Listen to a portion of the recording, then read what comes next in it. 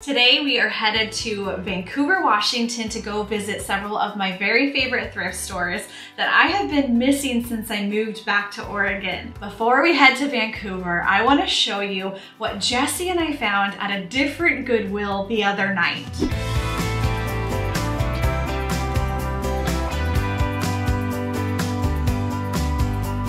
For a Goodwill date night, Jesse and I decided to go to a Goodwill that we don't go to very often. And as soon as we were in the doors, we started seeing glass everywhere on all of the end caps and all of the shelves. It was just packed with vintage art glass.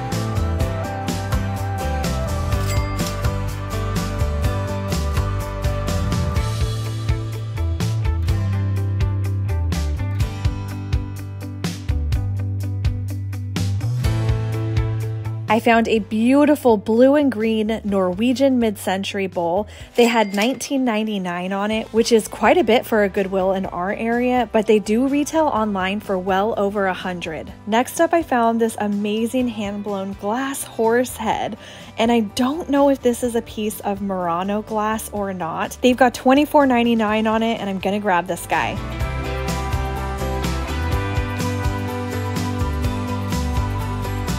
There are so many different fun pieces of art glass here. Now, I am not an expert at all in art glass, and I don't know if some of these pieces are newer made or if a lot of these are actually vintage. But I thought that this was really fun to see so many of these pieces in one location. My guess is that they had these in a boutique or possibly they were even going to be selling them online, and then something made them go ahead and put them in a regular retail location because I've never seen so many pieces all together in one spot before.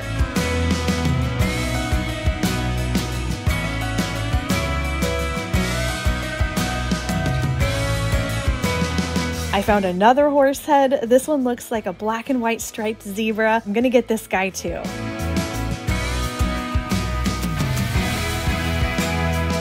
Murano and art glass is not really one of our things. It's not something we collect, but it's something we have a very great appreciation for. All I kept thinking when I was looking at shelf after shelf full of this vintage art glass was that somebody who loves art glass is gonna go nuts.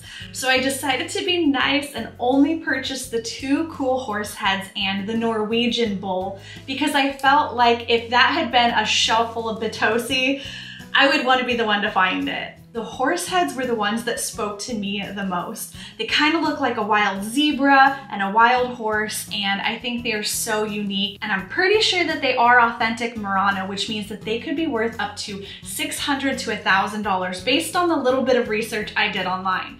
If any of you out there are experts in Murano and art glass, please comment below and tell me what you think of my horse heads and the other pieces that you saw. I adore these little horses, especially the one that looks like a zebra zebra. Now, I've been doing some research on how to tell if a piece is an authentic Murano. And one of the things was to look for bubbles and imperfections because when they are hand blown, they are going to naturally have some of those. So there are some bubbles in this piece here. Here's some more in the little striping area too. It definitely has some imperfections. The bottom of this one it looks like it was smooth flat, so it's impossible to tell if it had the little tip that you're supposed to look for for when they break the glass connection. And then this one is a little bit different. It does have some imperfections. It does have some little bubbles in there, but the bottom of it is actually rounded a little bit. So I'm gonna pull off this felt here and see, maybe I'll get lucky and maybe there'll be a signature. I started taking the felt off and I'm not gonna lie, I'm a little surprised. There is a piece of tape with a pocket of glitter. I have no idea what that's about, but we're gonna get that off and see what's underneath. I think I figured out why there's the pocket of glitter. Look at this. What? Is that gold? Do you think this is real gold, Jesse? Wouldn't that be amazing? Uh, no. You know what I think that is? What do you think it is? Like glitter from Michaels. Oh, darn. Okay, maybe this is not Murano. I'm not sure why there would be a hole in the bottom of it. This is kind of weird. That's like, maybe it was like a first grader's art project. No, it's not a first grader's art project. Yeah. I don't know. Maybe that's a technique in Murano. I don't know, maybe. Maybe that's how they get that glitter in there. This looks solid. So this one's definitely solid in there. I think? Oh my gosh, I need to go to Murano, Italy and learn how this is done. Oh wait, we are! Here's another amazing piece of art glass, and I'm not sure if this one is Murano. This was found at a different Goodwill. It has some large bubbles in the finish, and I did find a piece online that was at least titled Murano glass that had very similar color and design to it. I have seen several Murano pieces that have this type of lip here at the top. And then let's turn this big beast over. Oh my gosh, it's so heavy by the way. And here is the bottom edge. It looks like they sanded that flat too. So if you are a Murano expert, please let me know what you think. Do you think that these three pieces are Murano? And if not, do you know anything else about them? I'd be so grateful for any tips in the right direction. And for all of you who are Murano fans, I'm going to be taking you to Murano, Italy, and we're gonna tour the glass factory. I am super excited to do this. It's been on my list of things I wish to do for so many years, and I'm very excited to get to take all of you with me.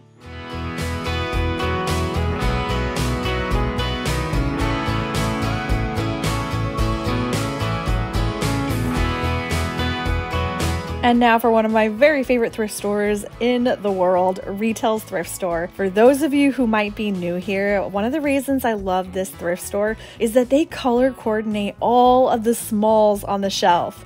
And so that makes it more fun when you're shopping because look, all the yellow pieces are over here, and then you've got all the purple pieces. It just makes shopping so much more fun for some weird reason to me.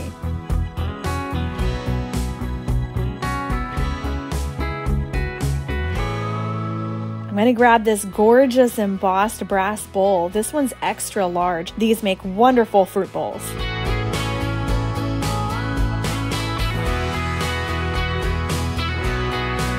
And I'm also gonna grab two of these amber glass bottles because I use these for my soap at home.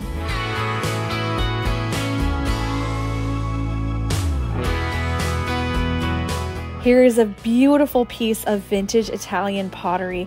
This is a gorgeous hand painted candle holder and it's only $1.99. I'm only getting started today, but this is already my favorite find of the day. A vintage carved ironwood lion figurine for only $1.99. This shelf is completely full of vintage glass decanters. These typically sell for around 45 to $65. Most of them are priced at only $4.99, so I think I'm going to grab quite a few of these.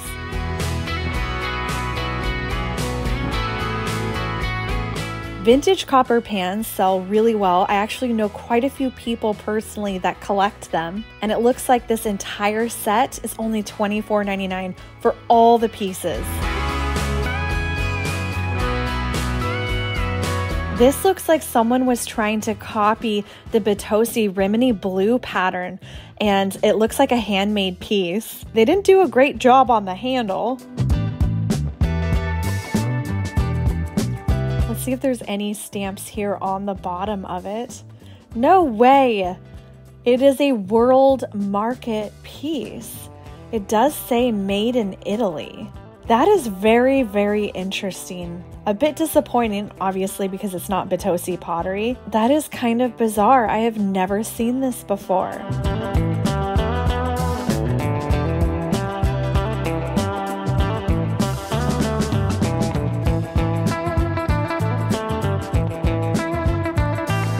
This is a 1980s Mikasa pattern. I love all the little speckles. It almost looks like granite and let's see, this one is called Ultra Stone Gray. And I think that I'm going to grab these. Even if they are all a few dollars a piece, that is still a really good deal. And it's really hard to find a set this size all together.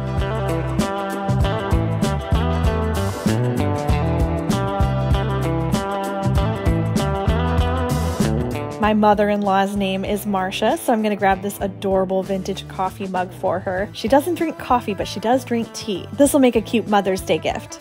I love the shape on this Oregon myrtle wood candle holder. Gonna grab that, it's only $3.99.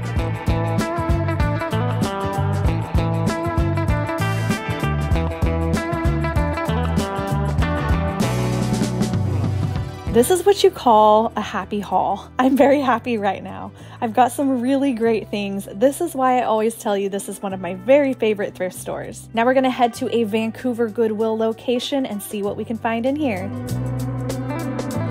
With such an enormous family, I don't think it's going to be possible for me to have too many of these pineapple bowls for when we have our tiki party this summer. So I'm going to grab this entire set. I cannot believe my eyes right now. I was just looking at an Instagram picture that had almost these identical onyx bookends, and I was thinking to myself, I've got to find these. $12.99 for both of them. They've got a few faint chips on them, but I'm getting them anyways. Retails is one of my very favorite thrift stores, and I think it's one of the things that I miss the most about living in Vancouver. So it felt so good to finally get in there and fill up an entire cart full of treasures. I don't know a ton about antique copper, but I know that I love it and I always pick it up when I find it. A lot of times when I come across copper mixing bowls or pots and pans, they are mass produced and they are not the highest quality. But it was really neat to be able to find some pieces that actually had stamps and markings on them so that I knew that they were really good ones. I started going down the Google wormhole researching antique and vintage copper, and now I know all about the incredible French pieces that are very valuable. And so I'm gonna start keeping an extra eye out for those and hopefully I can come across some more. I already knew when I saw the blue pottery on that shelf that it was not real Bitossi. I knew it wasn't real Italian pottery, but I did think that maybe it was a off-brand that was still gonna be handmade. I was so sad when I flipped it over and saw that world market stamp on it. I was sad that it wasn't valuable. I was sad that they are now copying designs from the 60s and just mimicking that look. But that's the way it works. Almost all new productions are a copy of something from our past. But the 1980s Mikasa dishes, I did pick up that entire set. And if they were not that concrete speckled gray, I would absolutely be keeping those for myself. But they blend too much with our concrete counters in the kitchen. So I'm gonna be selling that set. And I think I stand to make some really good margins. I paid between a dollar and $3 per piece. And when you look at replacements.com and other comps on Etsy and eBay, which when you add up all the pieces that I purchased, that equals these two numbers.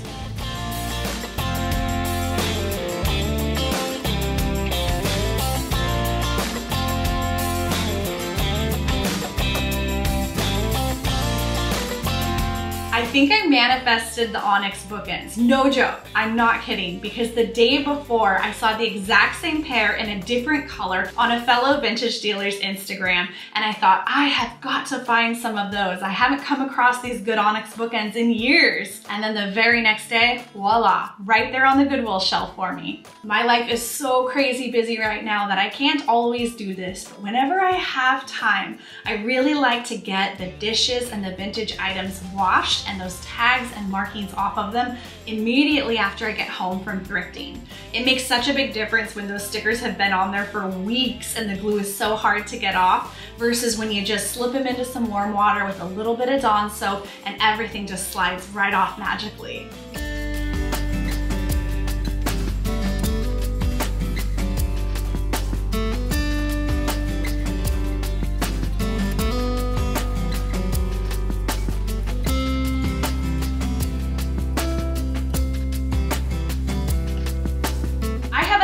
For vintage barware and it was really fun to be able to find so many of these cut glass decanters in one spot. I'm pretty sure that they all came out of the same house and were donated together. So it's kind of fun to know that this was someone's collection that maybe they collected over a lifetime.